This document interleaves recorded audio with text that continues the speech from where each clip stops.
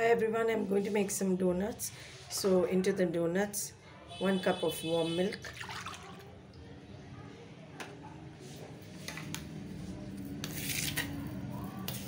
one tablespoon of sugar, one egg,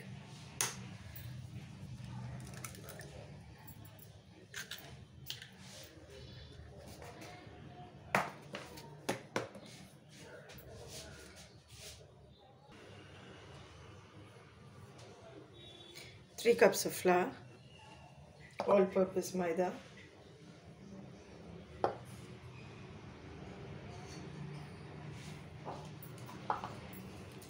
a pinch of salt,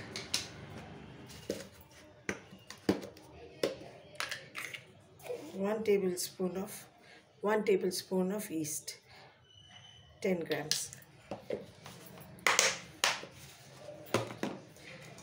Mix this all together and bring it to a soft dough. 3 tablespoons of butter.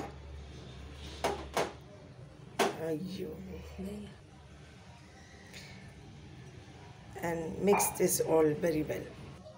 And now we'll keep this for it to rise till double. So now that uh, this flour is doubled in size, we, we just roll it out.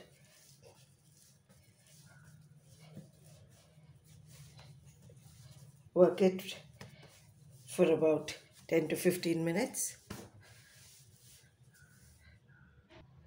And this is how it looks after a nice workout.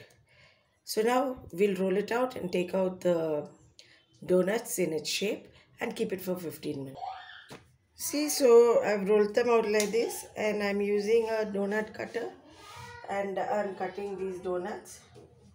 This is how you have to cut it. It will come out easily. So here you go. I've put in oil, I've put on the pan and now I'm going to fry the donuts.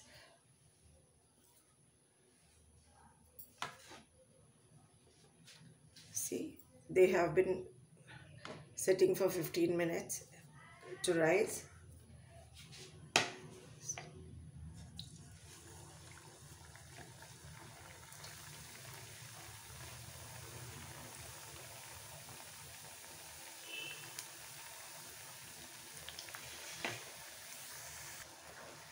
So see this is how it looks nicely frying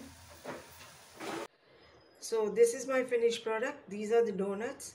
I mean there's many more but i've bought uh, three to show you.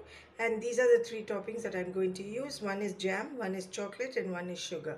So this is how i so these are the donuts that i showed you and that i've made. So i hope all of you will try it and you will make